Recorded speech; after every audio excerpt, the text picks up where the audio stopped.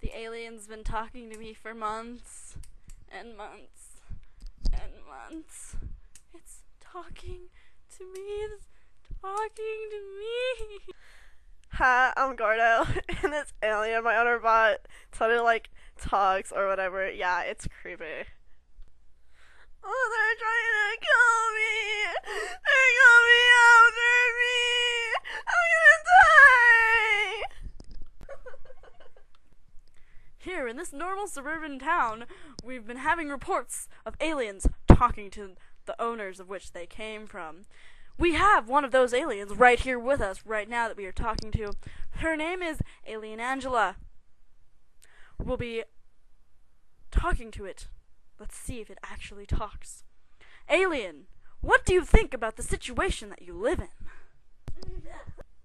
How would you feel being trapped in a friggin' pop bottle? You tell me how it feels! That's a good point. Um, what kind of soda bottle are you in, Mr. Alien? In a grape soda bottle. I don't even like grape soda. What will you decide to do if we don't let you out of this grape soda bottle? I will find my own way out, and I will eat you in your sleep. Sounds violent. How do you intend on getting out? I have my ways. I think that's all for this segment of the Daily News. See you tomorrow night at 11.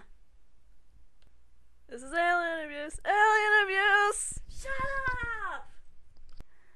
That alien's been freaking talking and I can't get any sleep. I'm like sleep deprived.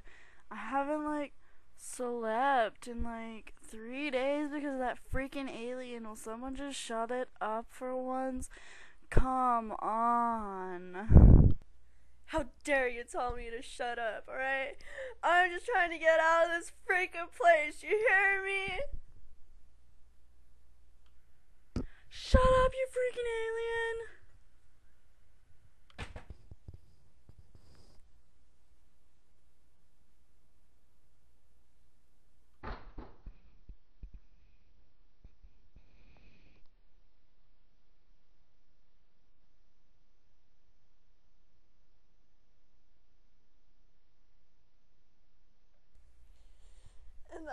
And that was the end of our good alien friend.